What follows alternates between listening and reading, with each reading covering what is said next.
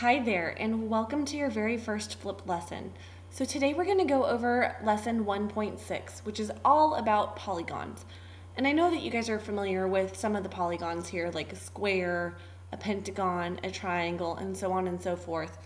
We are now going to learn how to classify these polygons.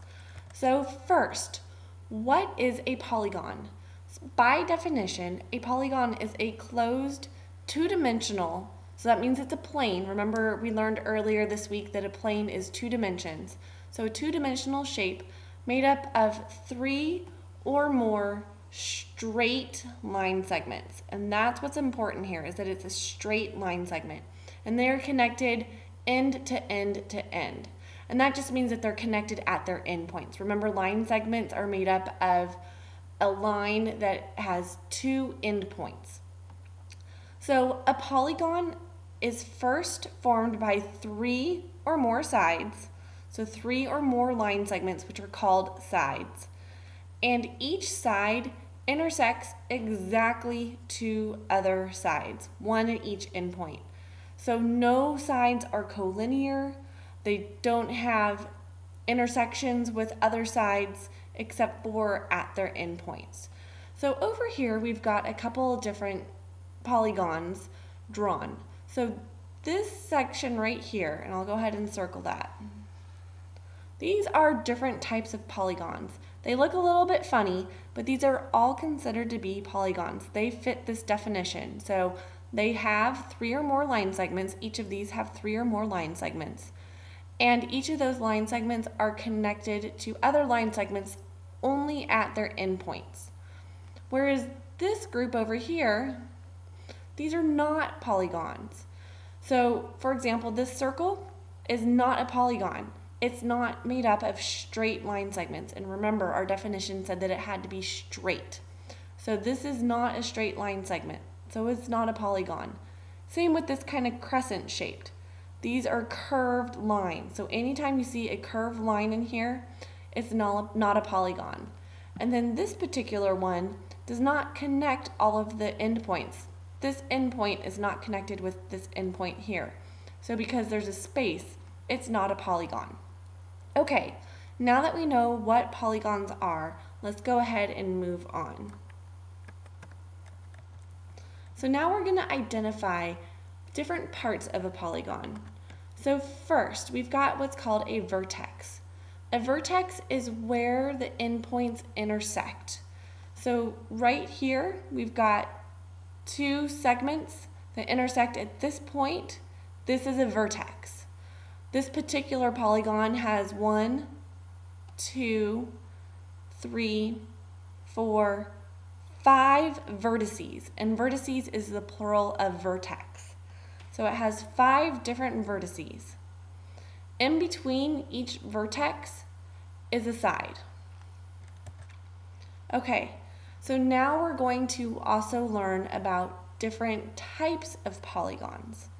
So a polygon is considered to be convex if all of the interior angles, and when we're talking about the interior angles, we're talking about these angles right here that are inside the polygon.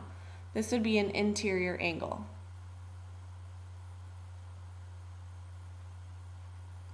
So if all of the interior angles are less than 180 degrees, then it's convex. So we can see here, all of these interior angles are less than 180 degrees. So this is a convex polygon. So this polygon is a concave polygon because we have at least one angle that is bigger than 180 degrees. And we can see that this angle right here is larger than 180 degrees. So basically, if the polygon indents into itself, see how this kind of goes in, indents into the inside of it, then it's going to be a concave polygon. Okay, let's move on to the next slide here. So now we're going to talk about the different types of polygons that exist. And they're classified by their number of sides. And I know that you guys have seen this before. So ones that you're probably very familiar with is a three-sided polygon is a triangle. A four-sided polygon is a quadrilateral. A lot of times we know it as a rectangle or a square, but in general, if it has four sides, that's considered to be a quadrilateral. A five-sided polygon is a pentagon, and so on and so forth. So I would pause this slide right here, pause the video, write these down. You're going to want to memorize these. You need to know the different types of polygons that ex exist according to their number of sides. So the different names of each of the polygons that correspond to the number of sides. Okay, so hopefully now you have written those down into your notes. Let's move on to the next slide.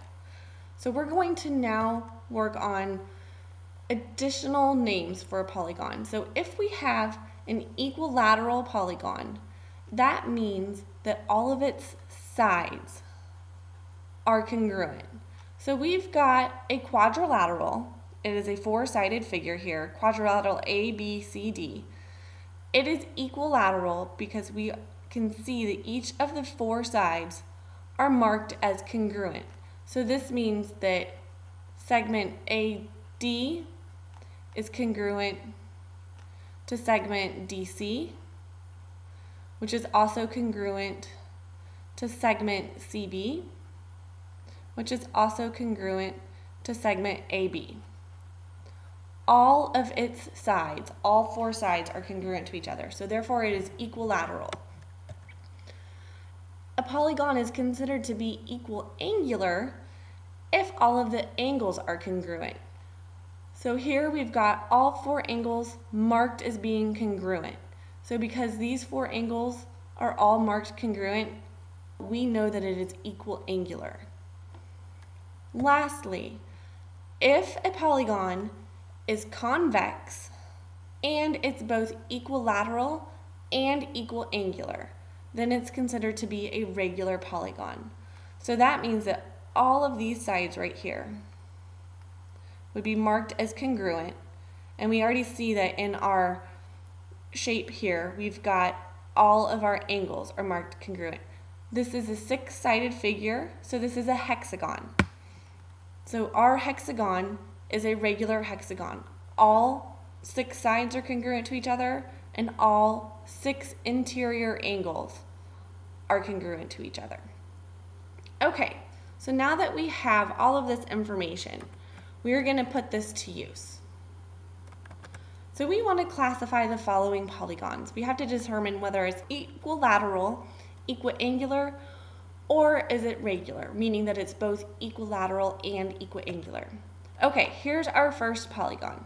So first of all, this is a hexagon, has six sides, one, two, three, four, five, six. So we know that this is a hexagon. The only thing that we see is marked are the angles. The angles are all marked congruent. They have only one line here. So we know that it is equiangular.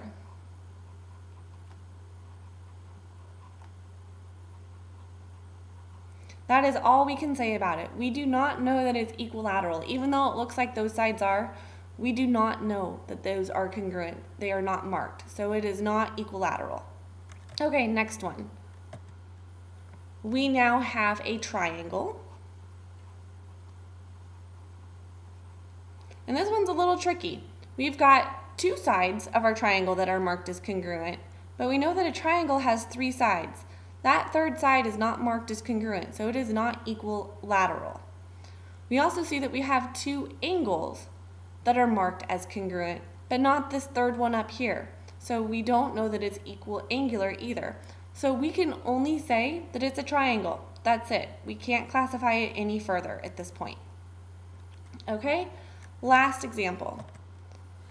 All right, we got a lot of things going on here. First of all, it's a quadrilateral.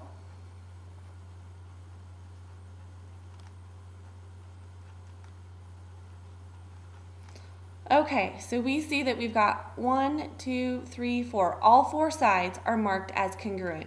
So we know that this is equilateral.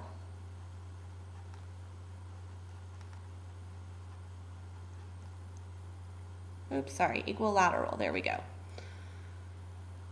We have this angle being congruent with this angle up here. we have this angle congruent with this angle up here. But this angle is not congruent with this angle, or vice versa. This is not congruent here. So we cannot say that this is an equal angular polygon. The only thing that we know is that it's equilateral. So that's it. We're done. All right, one last example for this lesson. We are going to find some dimensions about a polygon. Okay, so we are told that this is a regular polygon. First, let's figure out what type it is. It has one, two, three, four, five sides. So this is a pentagon. We need to find the values of x and y. So we are told that it's regular, so therefore we know all five sides are in fact congruent to each other. So since we know all five sides are congruent to each other, we can set these two sides equal to each other and solve for x. So let's go ahead and do that. So we've got 13x plus 27 equals 3x plus 22. All right, so let's use our algebra and combine like terms. We're going to subtract 3x from both sides. And we're also going to subtract 27 from both sides.